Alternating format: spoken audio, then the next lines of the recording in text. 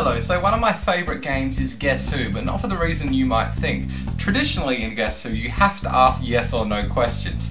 Do I have glasses? Am I bald? When I play it, I say that you cannot ask yes or no questions. So you have to ask questions like, uh, what sport did I play as a kid, do you think? What would my character's favourite movie be? Probably.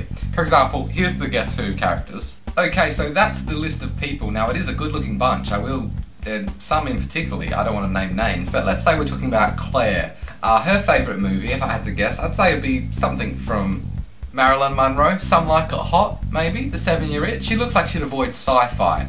Whereas we were talking about the favourite movie of, I don't know, Charles, it's going to be Clint Eastwood or something. Look at his Look at his lips. Now let's say the question was, what is your character's favourite food? If we were looking at someone like Max, I might say pizza. He looks like a fairly normal guy. With uh, Maria, for example, I'd say baguettes. It's the beret, I think, that makes me think that. Meanwhile, Bill, I don't. I would probably say he's not that discriminative. He'll just eat whatever is there. One of my favourite questions to ask is, uh, you're on a road trip with this character and you guys hit a deer while you're driving. The deer is wounded to the point that it will die soon, but it isn't dead. Would your character have the moral fibre to put the deer out of its misery. Now, if you look at someone like Alfred, yes. Looking at Alfred, I would doubt that hitting the deer was an accident.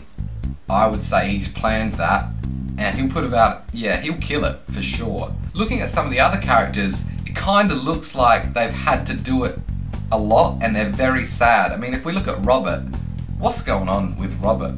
He's not happy to be a part of Guess Who.